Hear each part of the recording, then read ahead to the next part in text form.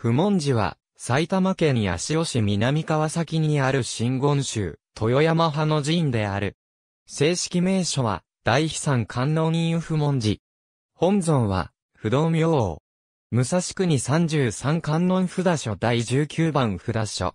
新四国歯科領88カ所霊場第70番札所。中高の祖は、法流海山が、幽雲王将、海祖が大雲ただ宗城。永禄年間に、森源尊者が、愚法大師の教えの道場として、武蔵国木曽根村に改装。1812年、ただ宗城が、真言宗と与山派総本山長谷寺の第39世能家になる。1873年、川崎学校の文校が不文寺に置かれ、木曽根村と二丁目村の児童が修学。1873年、川崎学校の文校が独立。木曽根学校と名称を変更し引き続き不文寺に置かれる。1886年、木曽根学校廃校。1923年、関東大震災で被災。本土、栗が傾き、主労働は大破。1941年、第二次世界大戦のため、1767年に鋳造された盆章を供出。1945年、学童集団疎開地として本堂を提供。1984年、中川の河川改修工事という国家事業への協力のため、弘法大師ご入場1150年ご延期、記念事業として、埼玉県八潮市南川崎へ移転。本堂、観音堂、大師堂、弘法大師修行像、六地像、法教院塔、大和樹齢350年の多行松がある。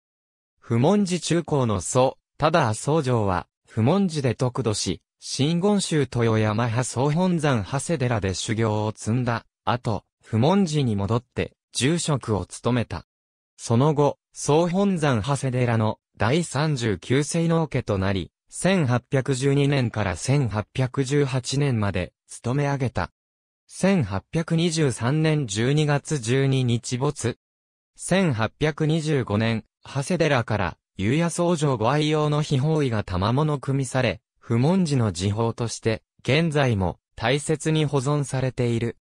武蔵国33観音札所は、吉川市、越谷市、草加市、松伏町、三里市、八潮市、川口市、葛飾区、足立区に、札所があり、番外の2火事を足した35火事で構成されている、観音霊場。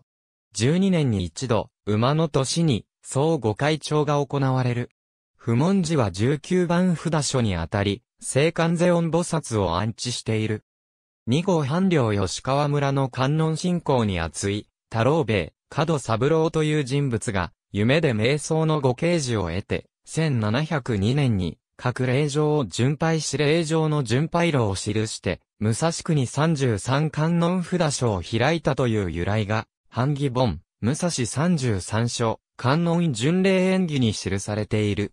武蔵33書、観音巡礼演技は、1738年に、大相模の大正寺第16世延明章が、記した、版木本で、由来、巡礼寿義、護衛歌などが記されている。永禄から1569年年間に、改装されてから1984年まで、不文寺は、武蔵国木曽根村の中川の下半に位置していたが、中川が頻繁に氾濫するため、治水対策のために、国が河川改修工事を計画。河川拡幅工事の用地買収予定地に、不文寺の土地も含まれた。そのため不文寺は、現在の埼玉県八潮市南川崎へと移転することとなり、弘法大師ご入場1150年ご延期、記念事業として行われた。新霊地には、本堂、観音堂、栗等が再建され、山門、大師堂、石塔、樹木などが移され、寺姿が一新した。ありがとうございます。